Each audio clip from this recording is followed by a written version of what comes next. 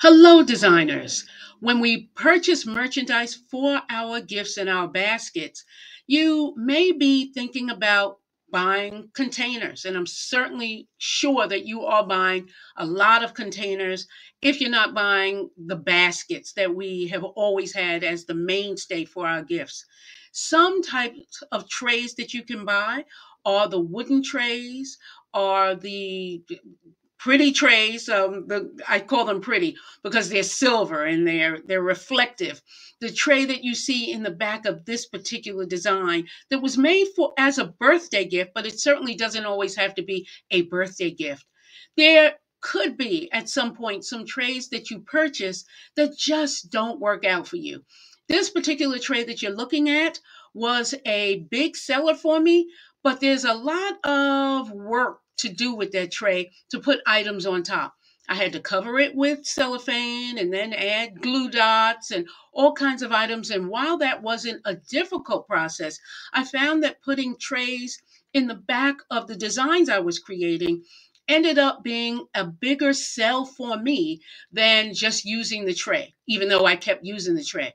So I want to show you in this picture a way that you might bring up the glamour in the gift baskets that you have by adding trays. These tray, this particular tray that you see did come from a wholesaler, and I have seen them in stores such as Restaurant Depot if you have that near you. One other thing I want to share with you about this particular gift that isn't tray based is that this basket that you're looking at does have a few holes in it. The correct holes because of the weaving of the basket itself.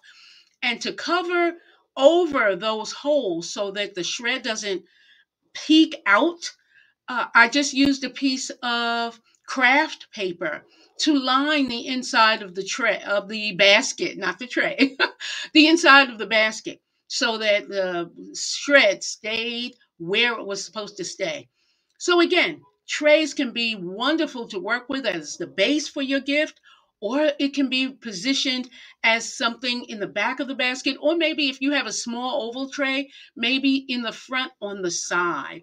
And that's how you can reposition trays if they're not only going to be the base for your gift basket.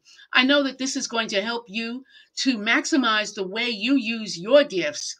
And if you have any questions or comments, let me know in the comment section uh, I'll have a link for you, of course, in the description, something about trays or containers.